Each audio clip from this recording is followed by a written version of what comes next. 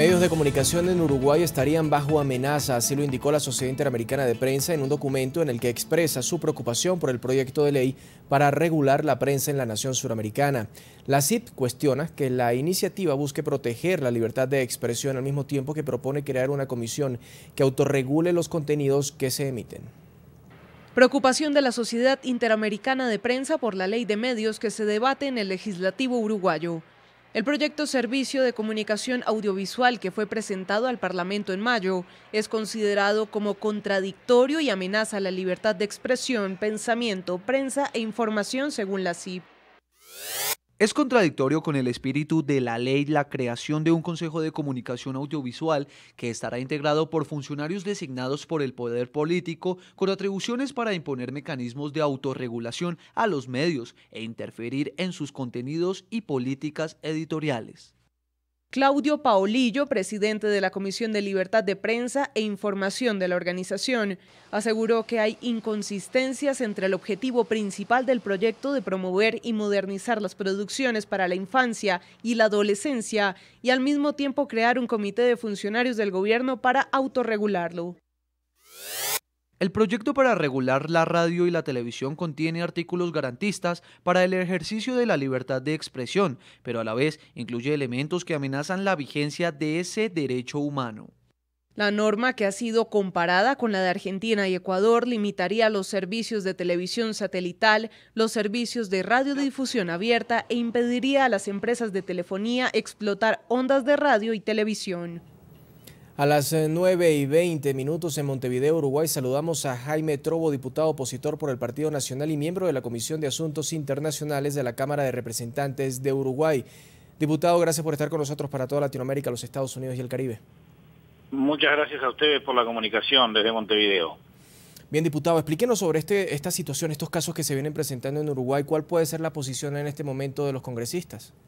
Mire, en, particular el Partido Nacional, que es la fuerza política que yo represento en el Parlamento, y todos los partidos de la oposición al gobierno tienen una eh, posición de cautela respecto de este proyecto de ley y básicamente nosotros no estamos de acuerdo en que en estos momentos el Poder Ejecutivo impulse y pretenda votar con la mayoría de votos que tiene en el Parlamento una ley que tiene más de 180 artículos que repite en reiteradas ocasiones que tiene el propósito de garantizar la libertad de los ciudadanos y de los individuos, televidentes y que reciben servicios de comunicación audiovisual, y tantas veces como repite el principio de la libertad, establece normas que van constriñendo la, libertad de formulación, de gestión, de programas, de programación de los eh, medios audiovisuales o de los titulares de los medios audiovisuales, estableciendo una serie de mecanismos de control que en primer lugar son eh, muy difíciles de aplicar, pero en segundo lugar quedan en manos de los burócratas y de los administradores del gobierno, sea cual sea, el gobierno actual del partido Frente Amplio o un gobierno de nuestro partido en el futuro, para el control de las comunicaciones o de los contenidos de la comunicación. Diputado, en ese sentido, en ese sentido además, de hecho, como las comunicaciones hoy día eh, están vinculadas a nuevas tecnologías, es muy probable que los medios audiovisuales del Uruguay puedan o tengan una serie de, controles o una serie de impedimentos que no los tengan obviamente los medios que se emiten desde el exterior y que ingresan a nuestro territorio o, al conocimiento de la población del Uruguay mediante eh, los mecanismos eh, de, la tecnología, del Internet, etcétera, etcétera. Y es por esa razón que nosotros señalamos que eh, la ley tiene un contenido inadecuado, inoportuno, y en estos momentos no es conveniente que sea aprobada porque además la presente administración va a terminar su gestión el primero de marzo del año 2015 eh, y nosotros eh, creemos que en un año preelectoral esta legislación no es adecuado que sea aprobada. Ahora, diputado, llama la atención que si bien muchos de estos gobiernos como Argentina, como Venezuela, como Ecuador, como el propio Bolivia, hablan de desmonopolizar eh, los medios de comunicación, que sean de, de, de libre Mm, uso para la población de cada una de sus naciones Llama la atención que en este momento las leyes parecieran estar muy similares en cada uno de estos países y no precisamente para quitar un monopolio, sino para quitárselo a las manos privadas y ponerlo tal vez en manos del Estado, sobre todo en su contenido.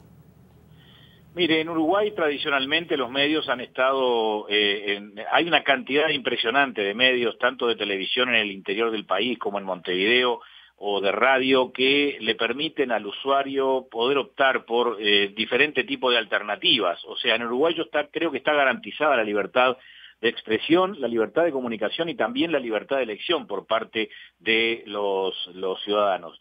Eh, sí, probablemente haya una especie, una corriente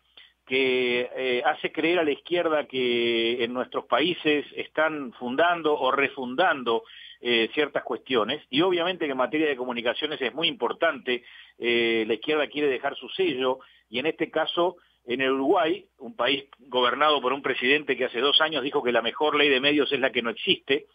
que a su vez dijo pocos días después de hacer esa afirmación el presidente Mujica que iba a tirar a la papelera cualquier proyecto de ley de medios que se le presentara porque entendía que necesariamente eh, la mejor eh, posibilidad de desarrollo de los medios era sin que hubiera un marco legal que estableciera obligaciones que pudieran considerarse restrictivas de las libertades. En ese marco eh, está apareciendo este proyecto de ley, lo que parece ser un triunfo de ciertas corrientes internas dentro del gobierno respecto de la posición del presidente José Mujica, que ahora está señalando que eh, está con otro criterio, o sea, con el criterio de regular y establecer mecanismos que eh, le establezcan a los medios algunas obligaciones, con eh, el agravante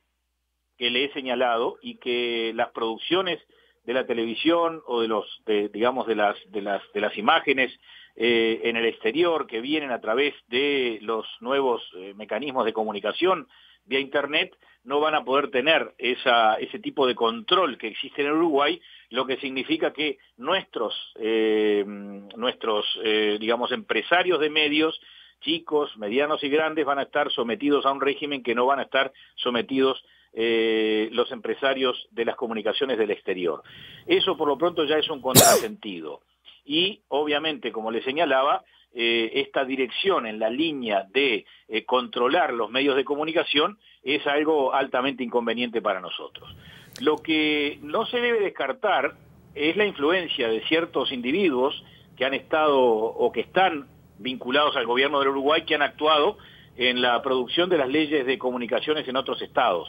Eh, ustedes saben que en Uruguay hoy día, inclusive hasta hace pocas horas, eh, fungió en condición de embajador itinerante el ex vicepresidente de Ecuador, eh, Quinto Lucas, y muy probablemente eh, su opinión y la de otros funcionarios del gobierno del Uruguay que tienen como propósito ir avanzando sobre la libertad que tienen los medios de comunicación, haya incidido para que el gobierno haya tomado estas decisiones en, las últimas, en los últimos días y procure que hoy en el Parlamento se apruebe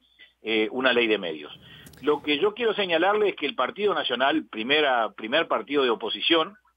en una posición compartida por los demás partidos políticos, viene planteando ya desde hace tiempo al gobierno, antes del envío de la ley de medios eh, audiovisuales, la necesidad de que existiera un debate político amplio y abierto entre todos los sectores políticos de la sociedad en Uruguay, porque nos parece a nosotros que es determinante que sobre un tema de señalada importancia y de particular eh, preocupación pueda haber, eh, como le señalaba, un, un, análisis entre todos los sectores políticos, porque esto tiene que ver con la democracia, tiene que ver con las libertades, tiene que ver con el desarrollo de una sociedad republicana en la que los medios de comunicación son vehículos y no pueden ser, bajo ningún concepto, instrumentos de poder.